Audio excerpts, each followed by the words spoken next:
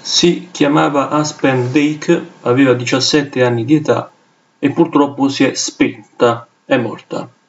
Era una giovane ragazza che ha lottato per la maggior parte della sua esistenza contro la leucemia linfoblastica. Vi ricordo che la leucemia è una neoplasia, è un tumore che colpisce il sangue.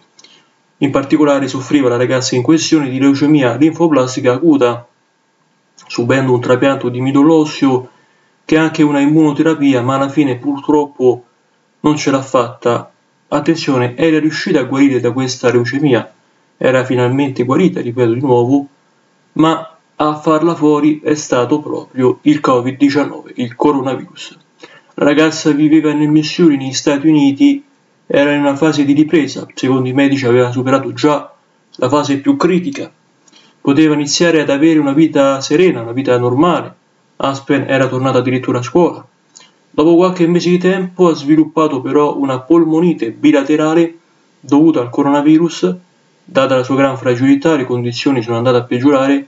In poco tempo la diciassettenne è stata portata in ospedale dove i medici hanno tentato il tutto per tutto per poterla salvare. I genitori hanno, hanno eh, creato una raccolta fondi economici ovviamente per sostenere quelle che sono state le spese mediche.